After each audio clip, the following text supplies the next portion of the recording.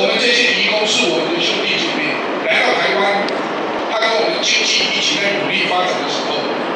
所以我们移民署从现在开始在居留证。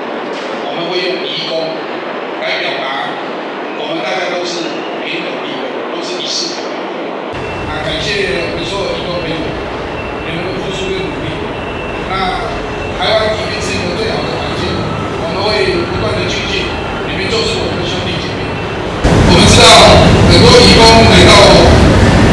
他远路重洋，离乡背井，目的是希望能够得到一份更好一点的收入。可是要得到这更好的收入，往往要付出一些中介费。可是我了解我们高总经理，他在聘用我们这一些移工的时候是直接聘用，他一直接聘用嘛，就我们这些移工就不必支出高额的中介费，而这些中介费对他们来讲是很大的一笔费用，会回家乡的话是可以养家糊口。